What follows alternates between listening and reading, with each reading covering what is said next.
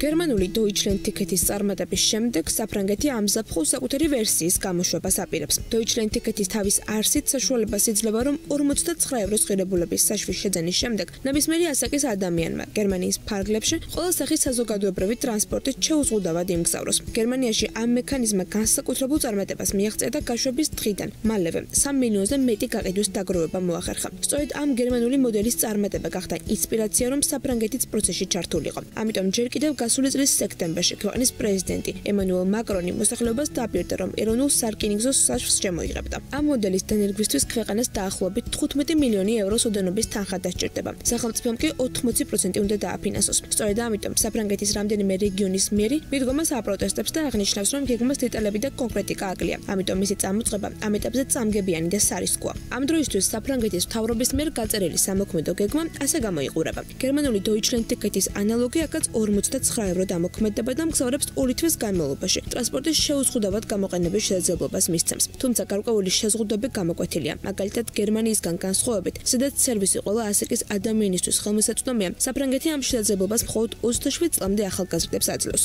ასევე საშუს პირობები არ ითვალისწინებს საფრანგეთის ყველაზე დასახლებულ რეგიონ, ოლ-დე-ფრანსიში გადაადგილებას, რამაც მოსახლეობის იმედგაცრუება და უკმაყოფილება გამოიწვია, რადგან ამ ტერიტორიაზე მოგზაურობისას ახალგაზრდებს დამატებით 16 ევროს ღირებულების საშუის შეძენა შეძენა მოუწევთ. როგორც აღმოჩნდა, ის უშუალოდ ამ რეგიონის გადაწყვეტილება იყო და ისინი საერთო მექანიზმში ჩართვას არ განიხილავენ. მოსახლეობის უარყოფითი რეაქციის შემდეგ კი ცენტრალური ხელისუფლება ოლდე ფრანსის რეგიონის მთავრობასთან მოლაპარაკებებს აწარმოებს. მიუხედავად იმისა, რომ გეგმის მიმართ საკმაოდ ბევრი კრიტიკული მოსაზრება გამოითქვა და ბევრისთვის მიუღებელიც კი ამ სამგზავრო საშვის ზაფხულის არტიდეგებისთვის საკმაოდ ბევრ ადამიანს შეუმცირებს ხარჯებს. ხელმისაწვდომს გახდის ქვეყნის ბევრ ნაწილში მოგზაურობას და ტურიზმის განვითარებაში თავის წვლილს შეიტანს. ფინანსური შეღავათის კუთხით რომ შევხედოთ ეს სურათი ასე გამოიყურება. მაგალითად, ტერის მატარებელი, რომელიც საფრანგეთის რეგიონებს ერთმანეთთან აკავშირებს და დღიურად დაახლოებით 1.100.000 მგზავრს ემსახურება, პოპულარულ მიმართულებებში საკმაოდ ძვირად ღვიდებულიცაა. ბორდოდან არკაშონამდე მგზავრობა დაახლოებით 13 ევრო ღირს, მარსელიდან ტულონამდე 14 ევრო.